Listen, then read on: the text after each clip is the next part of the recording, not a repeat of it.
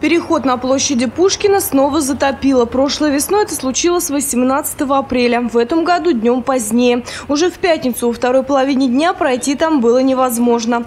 Городская мэрия информировала, что на перекрестке проспекта Ленина и улицы Жарова будет дежурить сотрудник ГИБДД. Полицейский должен регулировать движение и пропускать пешеходов через проезжую часть. Однако выход был найден другой. На затопленном мосту соорудили еще один временный. На мешки с песком положили доски. Пройти можно, однако есть риск подвернуть ногу, особенно у любительниц обуви на каблуках.